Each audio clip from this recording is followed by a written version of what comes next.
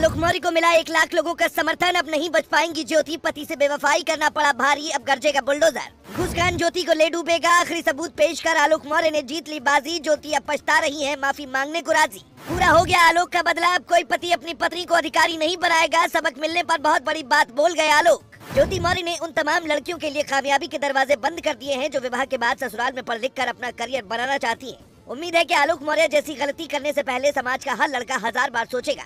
ये हम नहीं कह रहे, बल्कि सोशल मीडिया पर आलोक को न्याय दिलाने के लिए आवाज़ उठाने वाले लाखों लोग अब चीख चीख कर यही बात सबके सामने बोल रहे हैं। आलोक मौर्य अभी भी रो रो कर एक ही बात कह रहे हैं, मुझे योगी सरकार पर पूरा भरोसा है और जल्द न्याय मिल जाएगा। आलोक की तबीयत भी बिगड़ रही है धीरे धीरे उनकी सब्र का बाँध भी टूट रहा है। लेकिन उन्होंने अब कसम खा ली है कि जब तक पत्नी ज्योति को वो सबक नहीं सिखा लेंगे, तब तक चैन से नहीं बैठने वाले।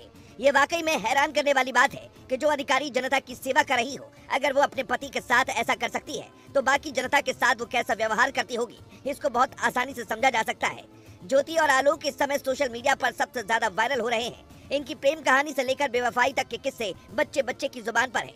कोई कह रहा है आलोक ने ज्योति को पढ़ाकर बुरा किया तो कोई कह रहा है कि बेवफाई अगर मिलनी होगी तो किसी से भी कभी भी मिल जाएगी। लेकिन सवाल यही है कि आखिर पति पत्नी का रिश्ता जितना ज़्यादा पवित्र होता है, अगर वही इस तरह से कलंकित हो जाएगा तो कोई भी पति अपनी पत्नी को क्यों पढ़ा लिखा कर आगे बढ़ाना चाहेगा? आलोक मौर्य ने अपनी पत्नी ज्योति को पढ़ाने के लिए अपनी पूरी ताकत झोंक दी थी। कर्ज लेकर भी उन्होंने ज्योति को पढ़ाया था। आलोक ज्योति को इतना ज़्यादा प्यार करते थे कि उन्होंने उनका एडमिशन प्रयागराज में एक कोचिंग सेंटर में भी करवा दिया था, ताकि ज्योति अच्छे से पढ़ाई कर अधिकारी बन पाए।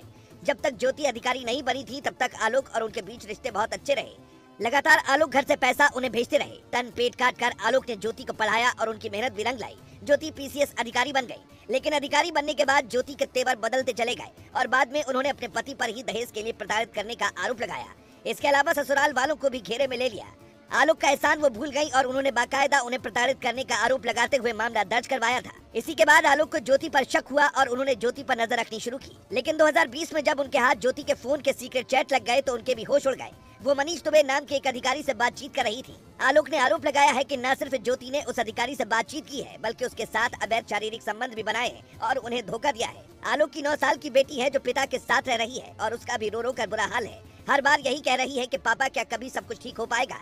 एक बच्ची के दिमाग में तरह तरह के सवाल आ रहे हैं और उसका भविष्य ही अब अंधकार में जाता दिखाई दे रहा है। मीडिया रिपोर्ट की माने तब ज्योति ने भी आलोक से अलग होने का पूरा मन बना लिया है और वो तलाक लेने की तैयारी में है। लेकिन इसी बीच योगी आदित्यनाथ की सरकार टाइट हो गई है और ज्योति पर घूसखान के जो आरोप लगे हैं, उसकी जाँच तेज कर दी गई। आलोक ने ज्योति मौर्य पर अधिकारी के पद पर रहते हुए लोगों से घूस लेने का आरोप लगाते हुए योगी आदित्यनाथ को एक चिट्ठी लिखी थी।